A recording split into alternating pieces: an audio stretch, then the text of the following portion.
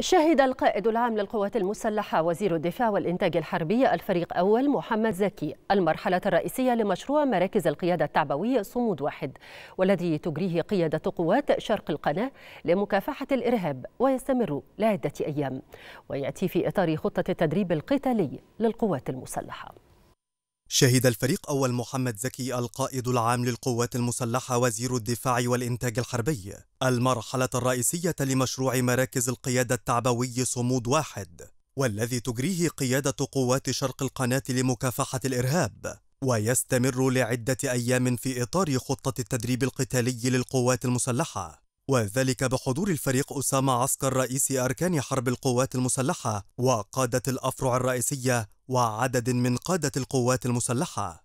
وألقى اللواء أركان حرب خالد بيوم العربي قائد قوات شرق القناة لمكافحة الإرهاب. كلمة أكد خلالها حرص القيادة العامة للقوات المسلحة على تقديم كافة أوجه الدعم لقيادة قوات شرق القناة لمكافحة الإرهاب لتنفيذ كافة المهام التي توكل إليه بكفاءة واقتدار.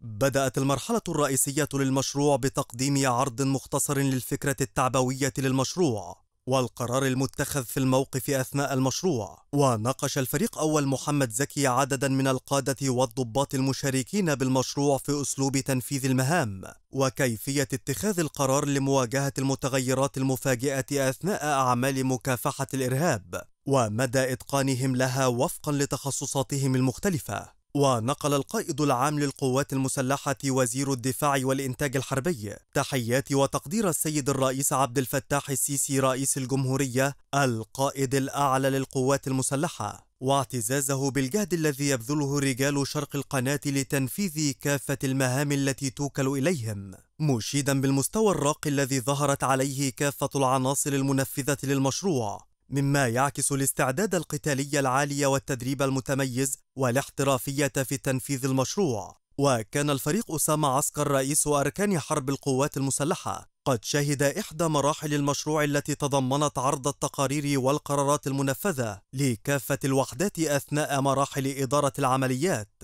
كما ناقش رئيس أركان حرب القوات المسلحة عددا من القادة والضباط بالمشروع في تنفيذهم لمهامهم وقام بفرض عدد من المواقف التكتيكية المفاجئة للتأكد من قدرتهم على اتخاذ القرار السليم أثناء سير المعركة.